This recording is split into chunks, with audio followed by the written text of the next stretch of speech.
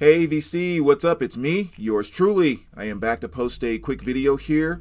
Uh, back once again, pretty quick to do another response video, another request video, I should say. Um, I know a few days ago I put up that really quick short video asking you guys, hey, what would you like for me to share, talk about, whatever the case may be.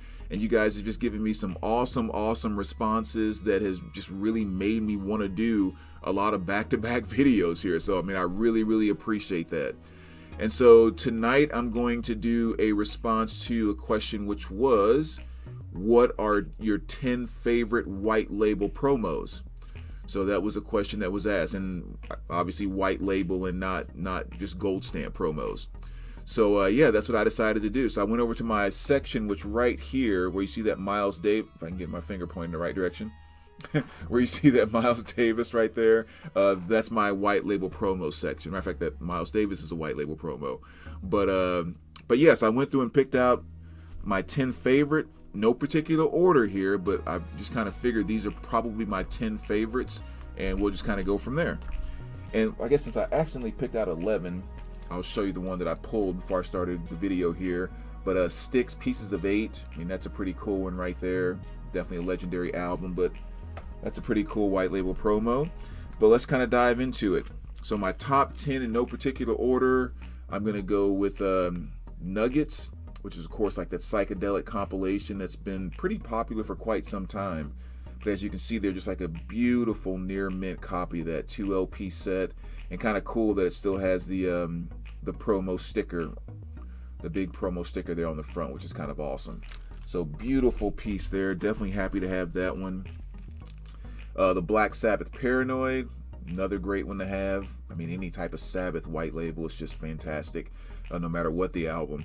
Um, so yeah, so this one's really, really nice. I mean, the cover has some ring wear there, uh, but no creases and no seam splits whatsoever, which is nice. It's just that if that darn ring wear wasn't there, it'd be awesome. Uh, I mean, it's still awesome, but you know what I mean. Um, but yeah, I mean, at least the vinyl is excellent excellent mining is somewhere right around there. So it's really, really clean and plays fantastic. But yeah, beautiful white label promo there. Definitely one of my favorites. As well as Jethro Tull, which is Aqualung here, of course. Another legendary album you guys know extremely well. And again, white label. And this is arguably, even though it's, it, maybe it's not my most valuable white label promo, it's probably my favorite white label in my collection, which is the self-titled Boston. I mean, the, the, I mean, just you know, between the album and you know, I, just everything. I'm, this is probably my favorite, but just a beautiful, beautiful pressing of that, and I mean, everything with that is just, just awesome, fantastic condition. So great one there. And then you have a little Bob Dylan, the times they are changing. Again, beautiful white label. And this was some VCLT from uh, Billy Hurst over at Riverbend Records. Uh, one of the uh, one of the albums that he kind of gave me as a thank you with kind of working to help set up the shop right before he had opened. And one of the thank yous that he gave me was Dokken, Back for the Attack white label promo. So again, another beautiful one there.